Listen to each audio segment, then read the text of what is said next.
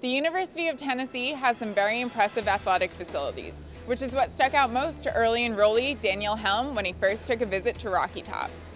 When I first walked in, definitely the facilities. Like, uh, this new complex is amazing. And then when I walked into Neyland Stadium, I'd been to a couple other stadiums like the Big House and stuff like that, and no other stadium was so intimidating just walking into it empty because the walls go straight up. It was like, I was kind of scared. So uh, I was like, I definitely don't want to play visiting here. So. An intimidating Neyland Stadium, along with Tennessee's coaching staff and fan base, are what sealed the deal for the tight end from Chatham, Illinois.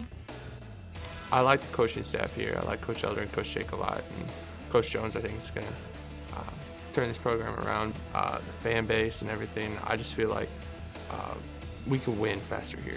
With faith in the direction of where the football program is headed and the support Vol Nation has shown for Team 118, especially at the basketball game on January 11th, the University of Tennessee is the ideal place for Daniel.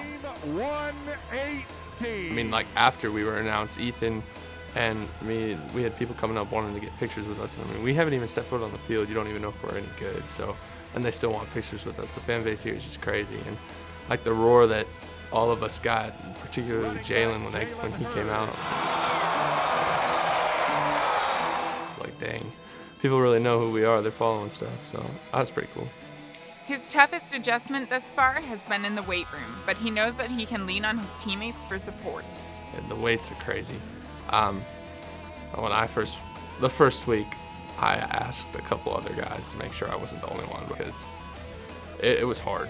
It was really hard, and yesterday's workout was really hard. But I mean, it gets better, and then uh, you know everybody else is doing it too, and they went through the same stuff. Uh, that's something that the veterans are really helping or like telling me that they they went through the same experiences. So if I ever need like help or anything, just to talk to them, that's really cool. So the whole tight end group as a whole is uh, very helpful. They're trying to help me and Ethan succeed a lot, and uh, I really appreciate that from them.